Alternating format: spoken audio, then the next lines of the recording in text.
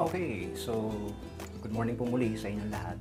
So ngayon, ang pag-usapan po natin itong bagong labas na naman ng Huawei. Grabe! Ano ba, kalalabas lang nila ng Nova 7i, Nova 7 SE. Ngayon naman, itong Nova 7 Super 5G. Wow! Iba ka talaga, Huawei. So, di ba? So, tuloy kung titingnan po natin yung difference ng 7 SE sa 7 itong 7, Nova 7 kunti ng difference niya pero sobrang laki ng difference. So okay. So may kita nyo po sobrang nipis niya na. So grabe. So talagang pinag uh, pinaghandaan ito ni Huawei no? talagang gusto niya makuha yung mga gusto niyang experience din ng consumer yung lower ang value. Pero pagdating naman sa technology pagdating naman sa price eh napaka-competitive niya. Actually itong model na to mid-range pa lang po siya. Hindi pa po siya premium hindi pa po siya flagship model. Pero kung titingnan po natin iisa-isay natin ang specs wow nakakalula po. Kung titingnan nyo sobrang nipis niya na. So ito po 6.53 inch na po siya. So, okay na siya, di ba? Hindi na siya, hindi siya maliit. So, sakto lang para sa mga, ano, para sa mga, hmm, para sa katulad natin. And, sobrang nipis na po. So, 7.96 mm na po siya. So, napaka, napaka, grabe. Ano ba, Huawei? Ano bang pinagagawa natin? So, sabi nga nila, they are killing the competition. They're the flagship model killer. So, hindi ko naman sila masisi kasi talagang, as you can see, itong models na to, isa-isayin po natin. Pero bibigyan ko lang po kayo ng konting tips sa mga lalo na sa mga hindi pa po nakakabili ng mobile phone kung bakit maganda pong bilhin itong modelo na ito.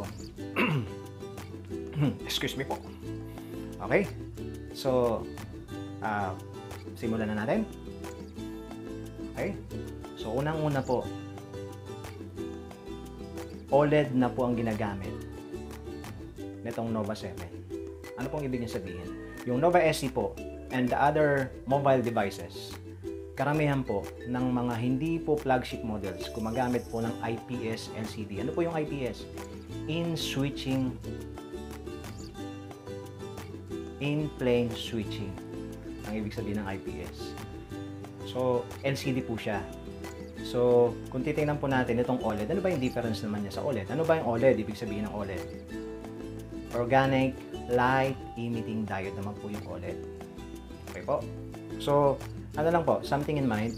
Uh, pag pumunta po kayo at pag uh, sa isang appliance store at bibili po tayo ng TV, pag nagtanong po kayo ng pinaka high-end na modelo ngayon ng TV, OLED po ang sasabihin sa atin.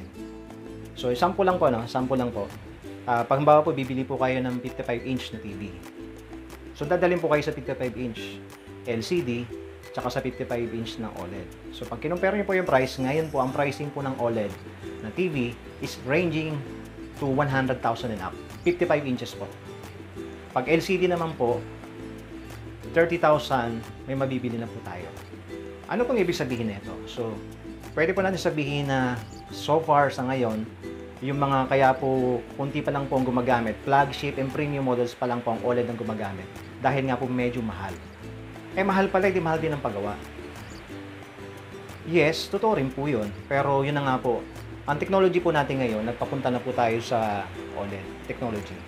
So, uh, may iwanan po talaga yung mga IPS. Pero siguro hindi natin alam kung hanggang kailan. Pero ngayon po, sabi ko nga kanina, gusto na ni Huawei na ma-experience nating mga consumer yung feeling na wow, naka-premium uh, mo, hindi premium yung cellphone ko pero OLED na yung ginagamit ng device ko. Di ba po ba? So, ano nga ba talaga? Bakit nga ba mahal? So, pagka OLED po kasi, uh, it, uh, pwede natin sabihin na emissive po siya. Ang, sabi, ang ibig po sabihin is, from its pixels itself, nag emit po siya ng color. Unlike po sa LCD, kailangan po ng backlight. Ganun po. Bago, para backlight. Kaya nga, ilaw, backlight, di ba? Yun. So, yun po yung difference ng LCD sa OLED. So, ibig sabihin po, halimbawa po, no, totally black. Anong gagawin ni OLED? Wala. As in, totally black. Eh, black naman eh. Bakit kailangan pang maglabas ng kulay? Eh, black nga, di ba? So, ganun po siya. As in, totally dark po siya. Unlike po sa LCD, dahil nga po may ilaw siya, so lalabas po dun sa sa kinukuhanan natin, grayish po siya. Hindi po siya totally black. As in, gray po siya. Sabi nga po nila, yung contrast ratio ng OLED, hindi pa nasusukat. Ganun po kali, ganun po siya. Pagka gusto po natin ng vibrant colors, pinalinaw na malinaw na malinaw, well, ito po yung hinahanap na natin. That's, yung nga po sa kanina, that's number one, OLED itself. Yun pa lang po panalo na po tayo. Pag bumili po tayo ng modelong ito. Ano pa po? Pangalawa, grabe po ang ginamit na chipset na dito. Yung Kirin 985, 7 nanometer na nga po ito. Kirin 985 pa. Di ba? And 5G pa. Alam niyo po sa ibang bansa, uh, gumagamit na po tayo ng 5G. So, sa pwede natin sabihin ngayon, hindi pa tayo capable sa 5G.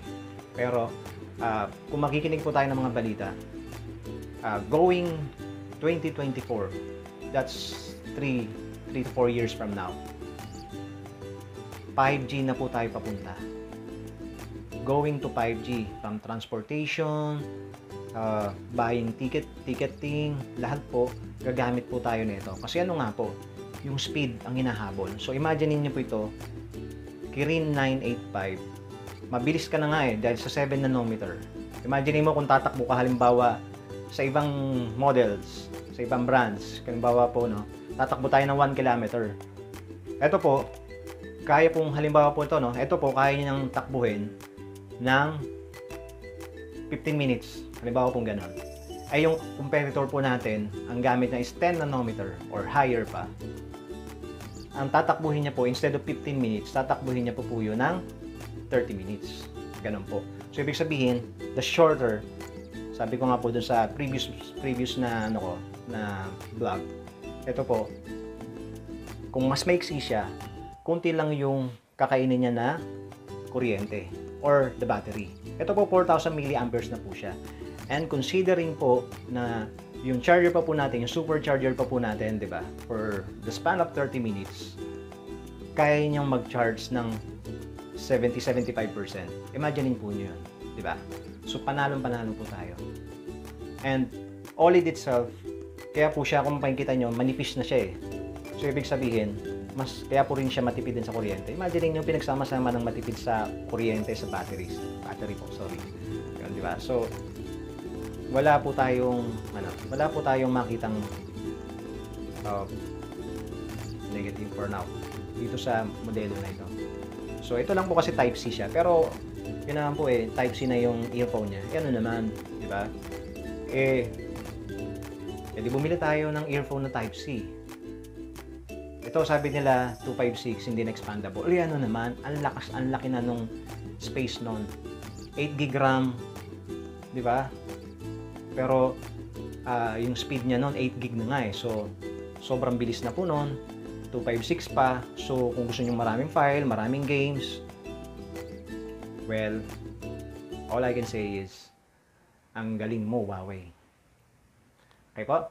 Thank you so much for watching my vlog and see you again next videos ko. Sana makita-kita po tayo. Sa mga hindi pa po nakakapag-subscribe, sana po please subscribe now to my channel and click the bell button para po ma-notify po tayo sa mga next videos po na ilalunch ko po. Thank you so much!